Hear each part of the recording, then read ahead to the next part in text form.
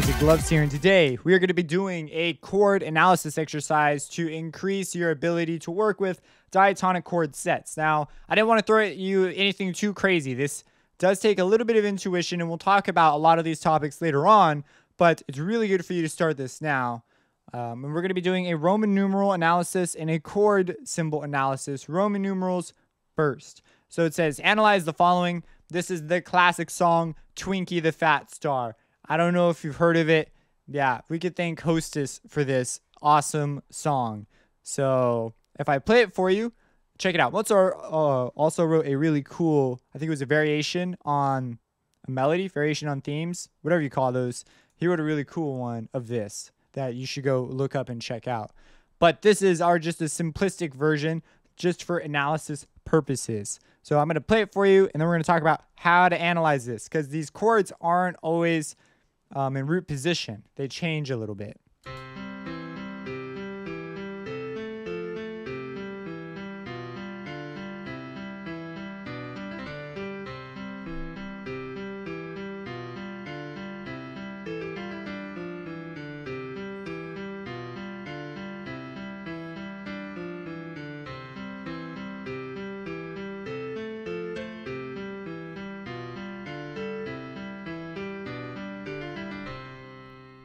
So I just want to point out a couple of things. First, let's talk about how to figure out first in order for us to do a Roman numeral analysis, analysis, that means that there has to be a one, a tonic, a root note, something the thing focuses on. So we have to figure out what that is, i.e., we have to figure out the key this song is in.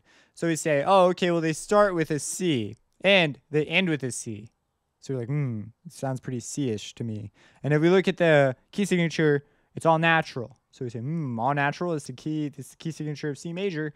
And then we go ahead and we look at bum bum bum the first couple notes. So in the bass clef, we have C, G, E.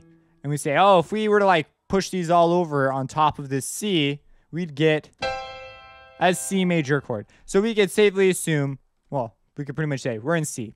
So we're in the key of C major. So C is going to be our one chord. So you will want Roman numeral analysis usually appears at the bottom of the page. So we're going to be putting ours at the bottom. What you do is you hit Control G. This is what you use for figured bass. We haven't. This is going to be talked about like way later down the line. Uh, but for now, you just put down a capital one, a capital I for one in Roman numerals. So this is our one chord, and we figured that out because this has some what are called inversions, and we haven't talked about those, but I have confidence that you'll be able to figure it out. So we say C, E, I mean C, G, E. And so we say, okay, this is the one chord. And then we, we look at this to determine our chords. So let's say, let's go over to the next chord. Let's do the first couple. So we say, okay, and it repeats. So this is all C major stuff. Over here, though, we get C, F, I mean C A F A.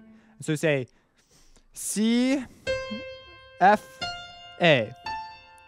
And then what you do is this is going to be kind of hard now. So if you can't quite figure this stuff out, just do the best you can.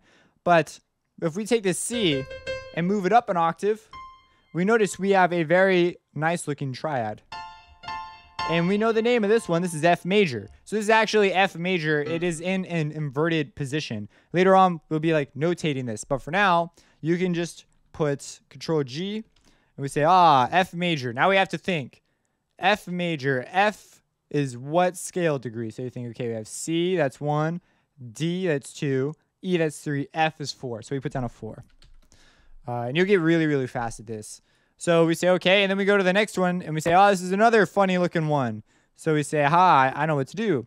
We have a B, so we hit a B.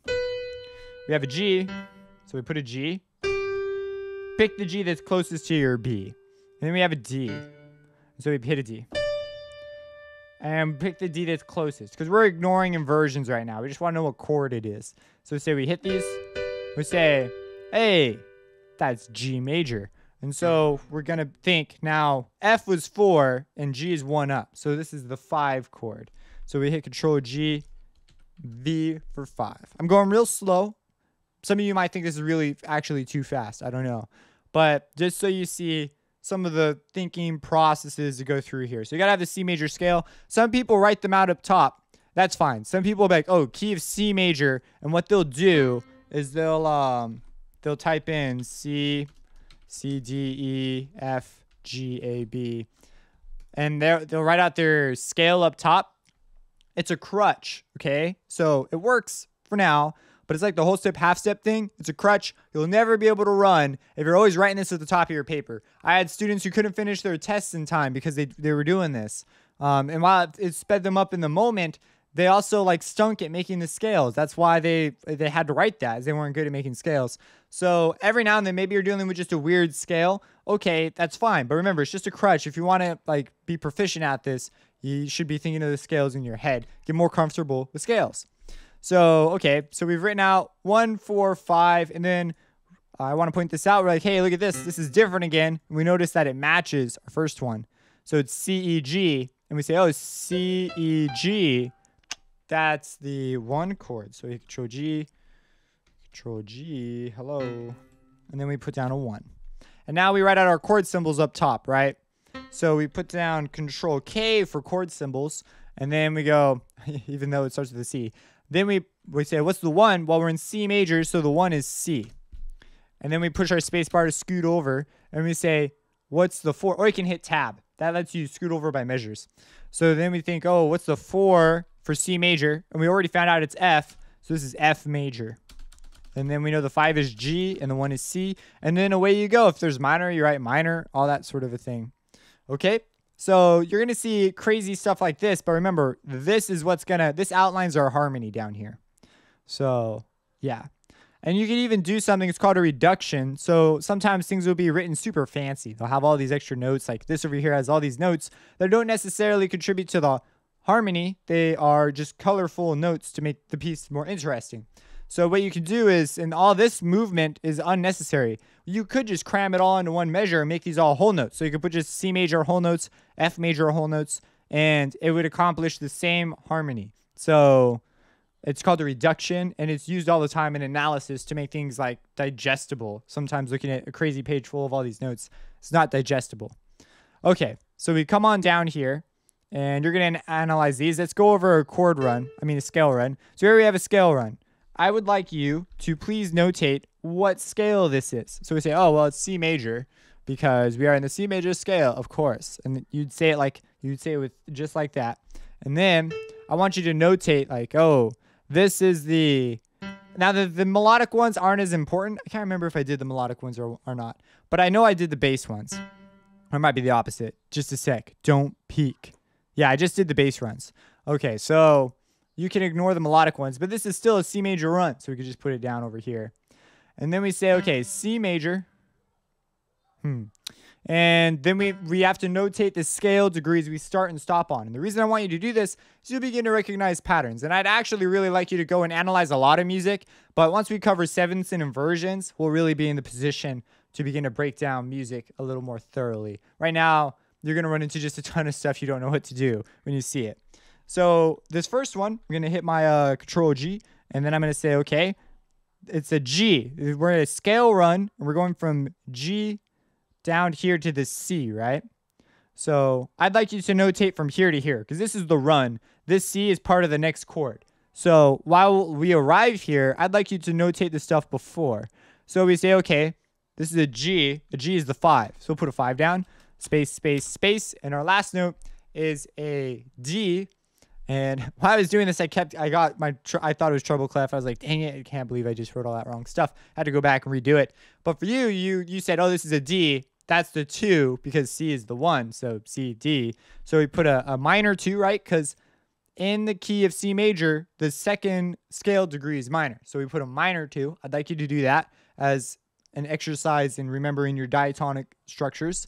And then that's it. And then you go and you on with your analysis. And there's one thing I'd like to point out down here. So we go through here and we say, hey, this is a this is a five. You'll you'll analyze it and you'll figure it out and you'll be like, oh, this is a B, a G, and then we have a a D hanging out. And we say, oh, if we pick the D down here, we'd be like, oh, that's not the right one. Well, it is So it's a different inversion. We want the, the the root position one so we can figure out what chord it is. So we say, oh, this is a G major chord.